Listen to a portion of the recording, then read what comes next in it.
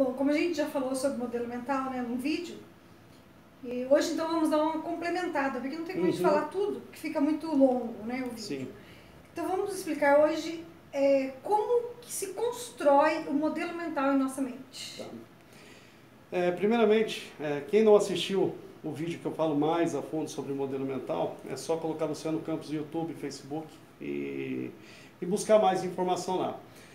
E para quem está pegando esse vídeo logo de cara, só para entender o que é modelo mental, é a maneira como nós interpretamos o mundo, porque nós não interpretamos o mundo como ele é, mas como nós somos e nós estamos.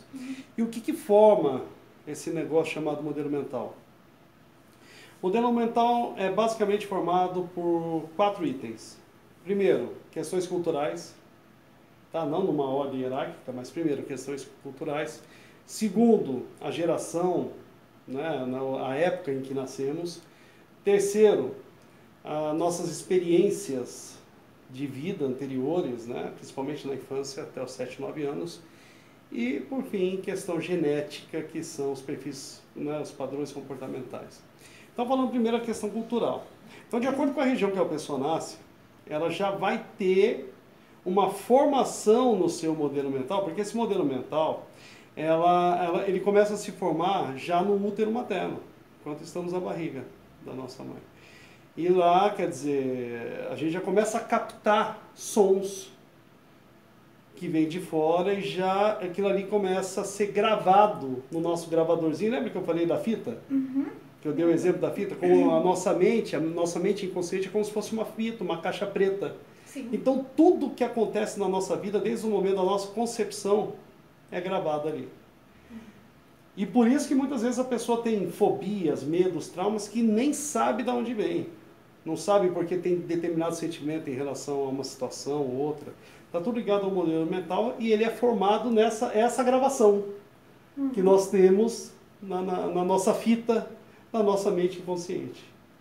Ah, Eu sou um pouquinho mais antigo, eu falo fita. Tá certo? O pessoal pode achar que é um HD gravando tudo ali. Mas vamos dar o exemplo da fita. Então, ah, o que, que capta o que está à nossa volta, todo, todo, tudo, tudo que a gente consegue captar do, do universo à nossa volta, que que é- por onde que é captado? Pelos olhos. Nossa, nossa visão, nossa audição e o nosso campo, né, o nosso contato sinestésico com o mundo, que é o tá ligado ao tato, olfato e paladar. Nossos cinco sentidos, para simplificar. Então eu vou percebendo o mundo com esses cinco sentidos. E isso vai e essa forma que eu vou percebendo o mundo, os eventos vão acontecendo e vão sendo gravados na minha fita, lá na minha caixa preta da minha mente inconsciente. E vão, vai lá no fundo da minha mente. Então aí você pega, por exemplo, questão cultural. Você pega uma pessoa que nasce no Brasil e uma pessoa que nasce no Irã. Ou, ou na Arábia Saudita, vamos falar assim, que é mais fácil. O brasileiro, qual que é o idioma que ele vai aprender a falar? Português. Vai gravar a- o idioma português, na, na a língua portuguesa na, na fita dele. O árabe vai, largar, vai gravar o idioma árabe na fita dele. Questão de religião. né? No brasileiro, provavelmente o que vai ser gravado nessa fita, que é o modelo mental, que está lá na mente inconsciente, vai ser o cristianismo. Lá no, no árabe, o islamismo. E assim sucessivamente. Você pega, por exemplo, um paulista à noite, provavelmente ele vai querer comer uma pizza. né? Um paulistano, por exemplo. Uma pessoa, por exemplo, do Nordeste, de repente vai optar por, por comer um prato típico do Nordeste, um, lá na Bahia, um vatapá, um acarajé, né? Enfim, então isso daí você já começa a ver que a questão cultural é um ponto que já começa a diferenciar um modelo mental do outro. Ele forma o nosso modelo mental. Então, por exemplo, é, a pessoa que ela cresce numa região, ela vai começar a ver o mundo com os olhos, de acordo com os olhos daquela cultura à sua volta, observam esse mundo. Você enxerga o mundo de acordo com os olhos do país onde você nasceu e principalmente na região desse país onde você nasceu. Sim.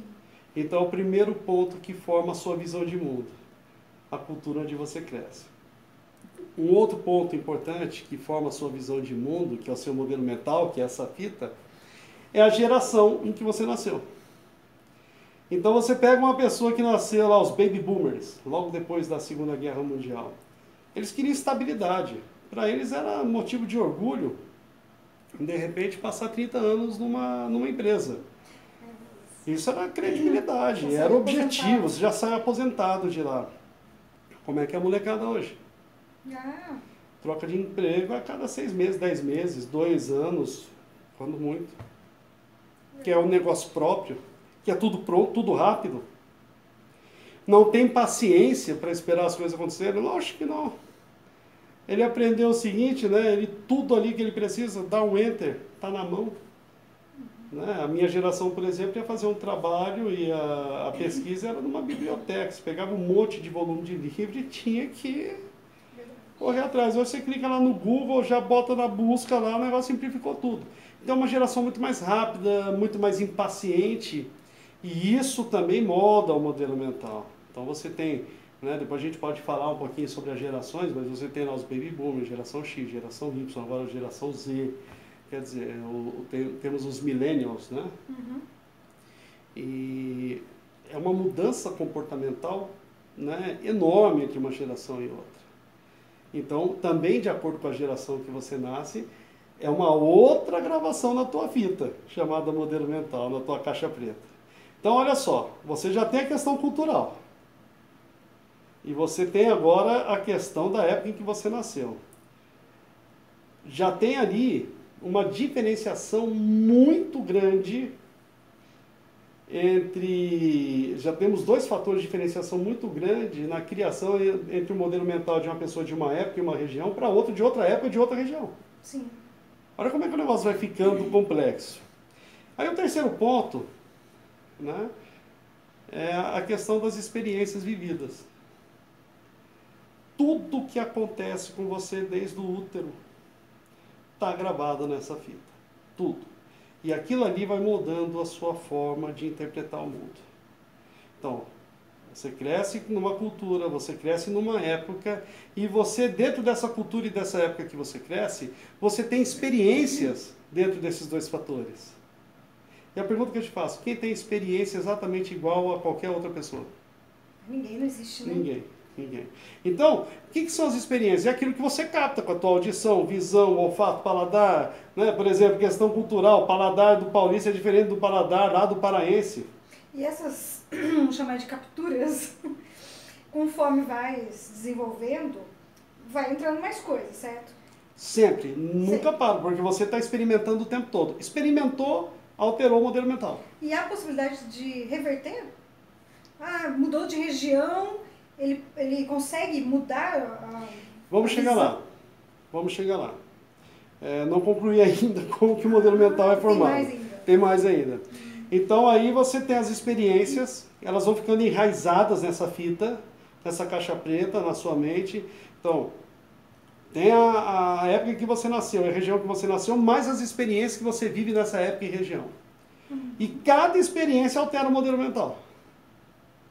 Você vai moldando o modelo, porque o tempo todo você tem novas experiências e novas opiniões. Ou você tem a mesma opinião que você tinha 15 anos atrás. Não, de jeito nenhum. É outra cabeça. Você vai mudando com o tempo. Então o modelo mental ele não é uma coisa fixa. É algo que está em movimento constante. Além disso, tem a questão da área do cérebro predominante no seu comportamento, que é o cérebro trino. Então, pessoas, por exemplo, que isso daí está ligado ao DNA, um programa que vem de fábrica. Se a pessoa ela tem uma predominância comportamental ligada a, a essa base aqui atrás da nuca do, do, do nosso cérebro, que é o cérebro reptiliano, ela vai ser uma pessoa, aquela pessoa mais papum, instinto. Bateu, levou e. Não e pensa muito Não pensa muito, ela quer o resultado, pessoa focada e tal. Se a pessoa ela tem uma predominância mais na área do sistema límbico, ela é mais voltada para emoções. Um lado mais voltado para uma emoção criativa, mais por outro lado uma emoção emotiva. Então aí você já tem dois pe- perfis, padrões de comportamento distintos nessa área do cérebro que é o, o sistema límbico. E tem também pessoas com predominância do neocórtex, são pessoas mais com raciocínio lógico, mais analíticas. Então, olha só, você tem a região que você nasce, a época que você nasce, as suas experiências e ainda tem a sua forma de moldar o seu comportamento de acordo com a área predominante do seu cérebro. É um conjunto de fatores que é impossível de se replicar mesmo em quase 8 bilhões de pessoas nesse mundo. Concorda? Uhum. Não dá para você replicar dois padrões, é, dois perfis, comporta perfis comportamentais, dois modelos mentais diferentes. É impossível você conseguir combinar tudo isso e fazer dois iguais. Quer dizer, mesmo convivendo na, na mesma região, na mesma casa. Não tem jeito.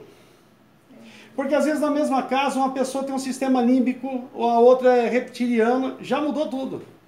Além das experiências. Sim. Então não dá para você fazer, é, ter dois modelos mentais iguais em quase 8 bilhões de modelos mentais existentes hoje. Que é o número de pessoas que existem. Resultado, se não dá para ter duas interpretações iguais de mundo, nós vemos o mundo como ele é ou como nós interpretamos. Porque se víssemos o mundo como ele é, todos teríamos as mesmas opiniões, ninguém discordaria de ninguém. Sim. Todo mundo ia ter a mesma religião, o mesmo time de futebol, o mesmo partido político e assim sucessivamente. Uhum. Gostar da mesma cor? Gostar da mesma, mesma cor, coisa? é. Nossa, né? Não tem jeito. Entendeu? Uhum. Então, tudo isso, o que você falou perfeito, se formar nas mesmas profissões, teria uma profissão só. Sim. então não tem jeito. Ah, nós temos a nossa individualidade é um, e ela está no modelo mental e o modelo mental é o que constrói essa individualidade. Uhum. Agora, o que você tinha perguntado que eu falei que eu ia responder, que eu ainda estava concluindo o que era o modelo mental? É se isso tudo pode ser revertido, se a pessoa muda de região, por exemplo, se o, a pessoa que nasceu lá, o árabe, por exemplo, vem morar em São Paulo Uhum. Ele muda totalmente, então, porque ele mudou, ele está vivendo em outro lugar. Ele vai virar um cristão, ele vai, ele vai passar a ter os hábitos daqui. É, o muda totalmente é um negócio totalmente mudar totalmente é um negócio muito subjetivo.